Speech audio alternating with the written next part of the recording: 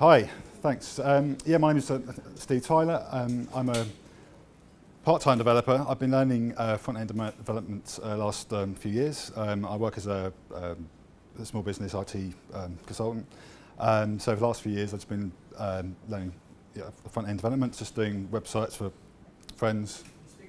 Hello. Sorry. Can I turn this up? No, this is recorded. You'll just have to check. Okay, sorry. Sorry. Um, where was I? Right, yeah, sorry. Yeah, so I've just been um, last few years. I've just been doing websites for friends and local small businesses. Um, and then about, about a year ago, I kind of lost my way a bit. wasn't quite sure what direction to go in.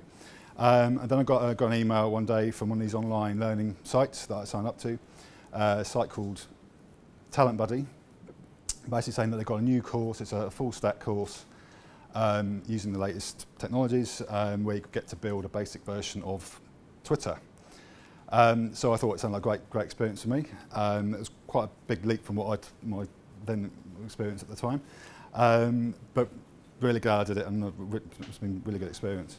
Um, so just going to run through what the app does. Quickly. Sorry. Yeah. Right. So. Um, am I saying that all right? Yeah. Okay. Right. So just just a basic version of Twitter. So we just log in here. I'm just log in as me.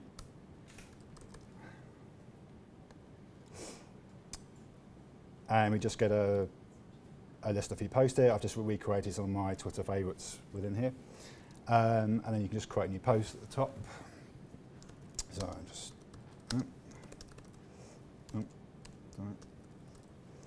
oh. Um, we just publish a new post, and, and then and then I can just just delete that. Um, you can go onto other people's pages, so I can just go into my own page, and it just shows you posts um, who I'm following and who follows me. Um, right, so I just log out of there. Um, right, so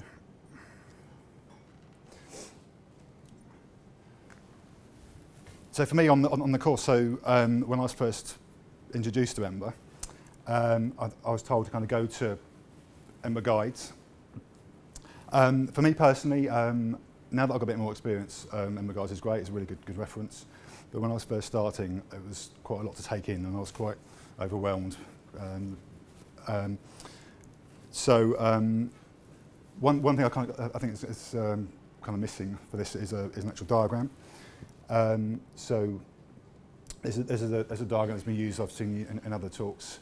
Um, so Ember, Ember uses its own version of the MVC pattern, where um, um, we have um, um, models are your data, um, and sorry, uh, uh, it's a way of uh, separating your concerns. So the way that you separate, we all know separate our HTML from our CSS from our JavaScript. Um, here we're separating our models, our data from our views, what's rendered to the screen, um, we, um, and then from our the controllers, which are like the middleman between between the two.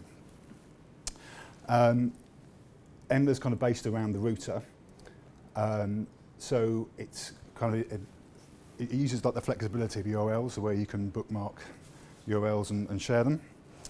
Um, so um, it, so it um, generates a URL per route. So if we, go back to my app again, you'll see here that when I, um, if I go see it on the sign up page, you get a create account route so that I can use the back button and, and go back.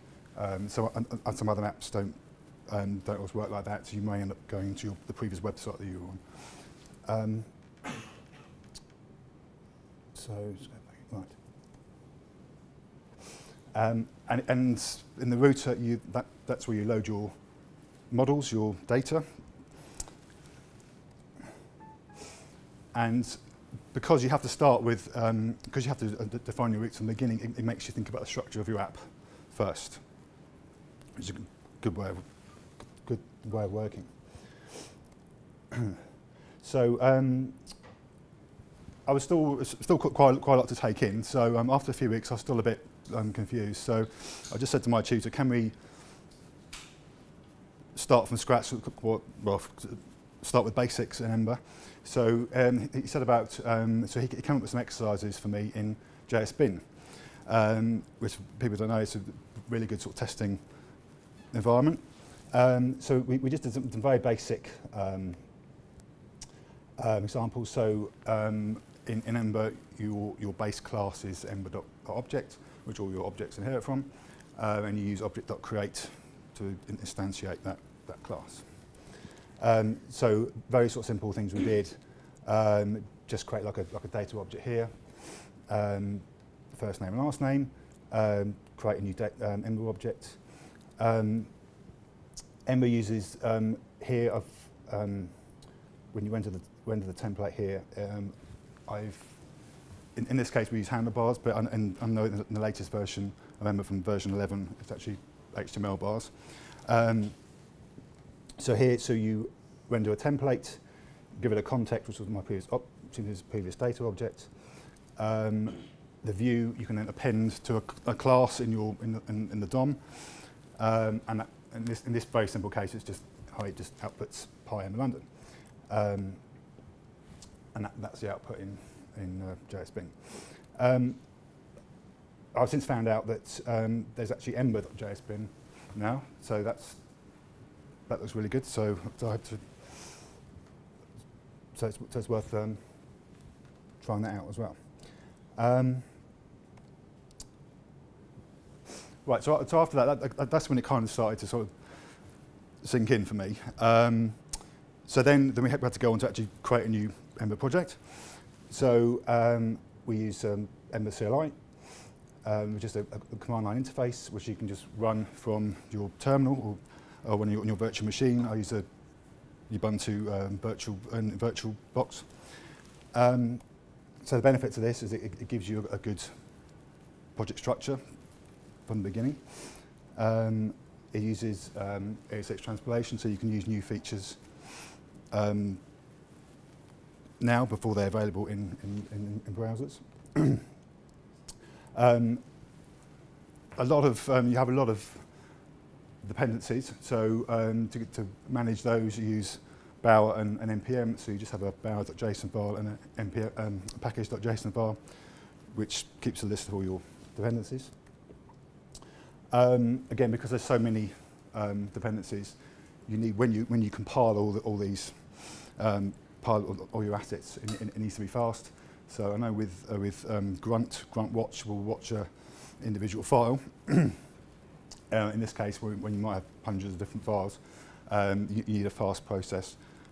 Broccoli, so it uses, um, uh, rather than individual files, it uses trees, directories of files instead, so it's a, it's a, lot, a lot quicker.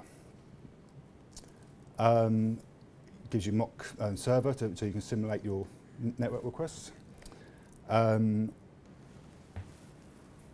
Live reload is basically so when you when you make a change to any of your files, it automatically builds or builds all your assets and updates your browser in the screen. So um, now we also have um, don't think it was available when I wouldn't start using it. I think I was using the beta version. I don't think it was available then. But um, but, but now we have generators, so you can so that there is some boilerplate code when you're when you're defining routes and um, controllers. So um, you, you can just type in Ember generate um, route telegram in my, in, in my, in my example.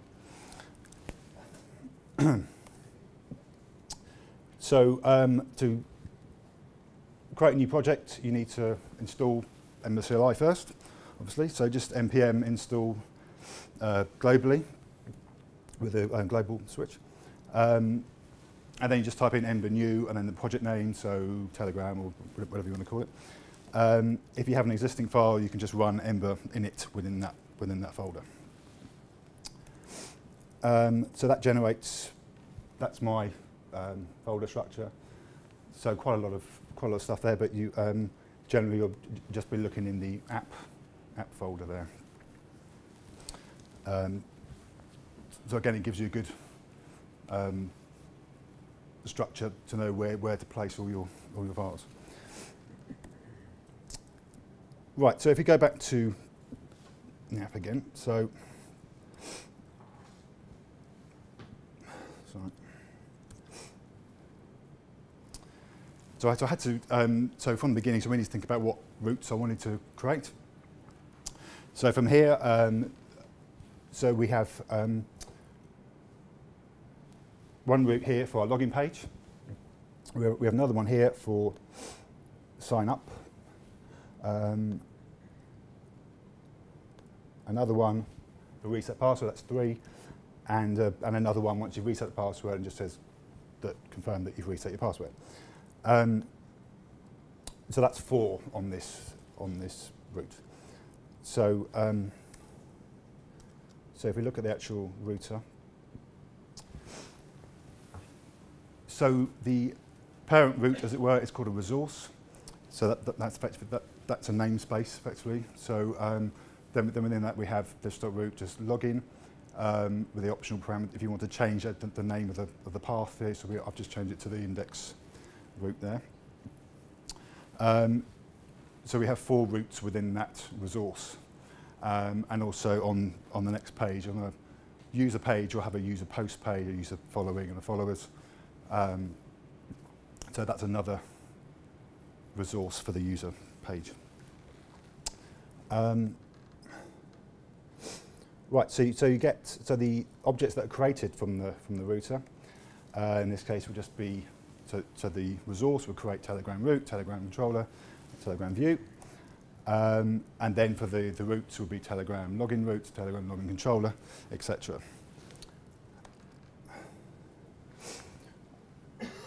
So going, right, so, so looking at the login page, so th th this is my template, so this is just the form, the, the, the login form. So, so here, this is, this is just a form where we type in our username and password. Um, so we have these input helpers that just take the value of the username and, and password. Um, and you, will see if um, that will then check it on the on the back end on the on the server. And you see that if uh, if the login fails, then it then it will render a, a, div and an, an alert that you that the, that the password is wrong. So if I just type in that so login so it's rendering that div because the because the password.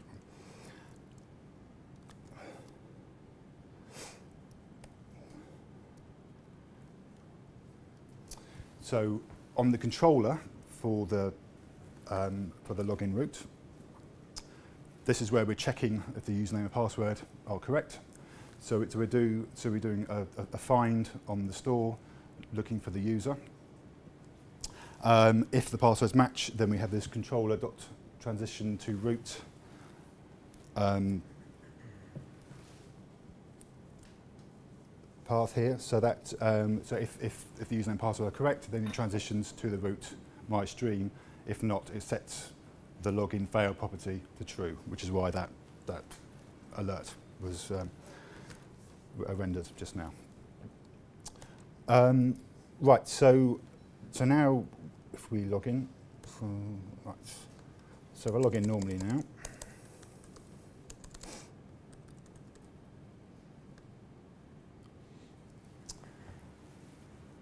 So now that we're on this page, so, so now we need to load some data in.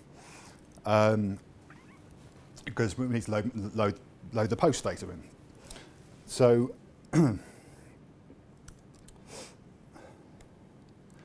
So for that we use Ember Data which is a library that manages your models. So it manages that within the, within the browser. Um, so it keeps the store within the browser, so, so it's a lot quicker. And that saves us having to use lots of um, extra code. So in the past, we may use um, AJAX calls to load in JSON objects. Um, so, so in, in my case, the, the, the two models are very simple, just users and posts. Um, so this is my just, just my user model. Um, so we, we define the attributes here. Um, most of these are just going to be strings. Um, apart from obviously is followed will just be true or false. Um, and in, in post, so we have um, user property here, which because it's um, effective, that, that's the author of the post, so that, that creates a one-to-one um, relationship between the post and the, so that's one-to-one relationship between the, between the two models, the post and the user model.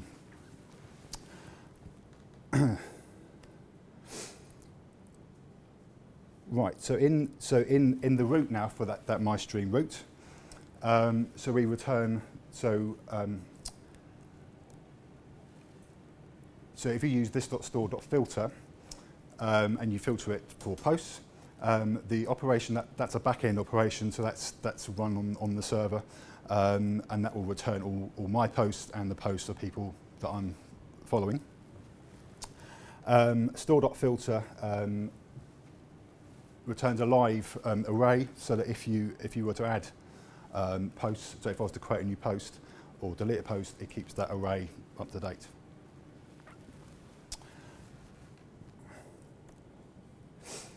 Um, right, so so in here, I don't know if you noticed, but when I went, so if I type a type a post again. Sorry, yes. Um, how do I? Command plus, yeah. Sorry, yeah. Yeah, all right. Sorry about that. Yeah, okay. Right, so you'll see as I, as I type in, there's a character counter underneath, just, just like in Twitter. Um, also, and also the um, date here, well, it's a few days ago, but, but, but this keeps up to date. So, um, so in, in Ember, what we can use to, to do that is um, computed properties. So um, the way I think of computed properties is like um, Excel um, cells. So if you've got like a formula in a cell, um, say for calculating VAT or something, I don't know. Um, so, but that is um, dependent on another cell. Um, so it's a, yeah, so it's, a, a, property that is derived from another property. Um, and they, they do this uh, by extending the function prototype. Okay, so so this is my, again, on my controller. Um, so new post, that's just the value of the text area. So obviously that will be em just, just empty to start off with.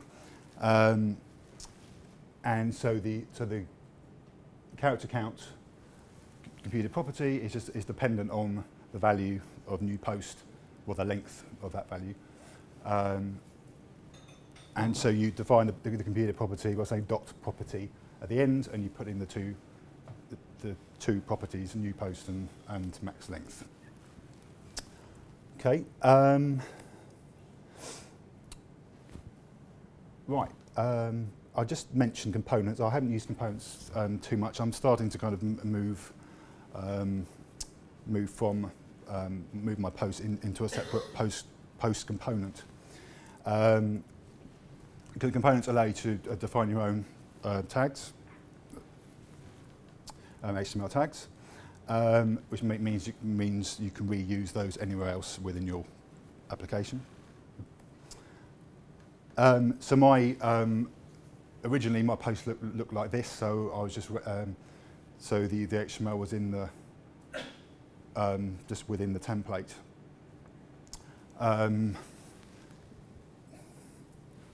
so we have a link to helper there, which just links to the um, post route of the user. Um, so now I've, I've, I've, moved a lot of this code into a separate um, post um, component, sorry. Um, and now I can just render it like this. So, um, so you defining a new component um, post block, I've called it in this case, and it needs to have a hyphen in it. Um, But I, um, yeah, but I'm, I, I aim on adding some more features to this and using more components in, in future, um, adding like a repost, retweet um, component to it. um, a bit later on. So um, I think that's about it. Um, yeah, thanks.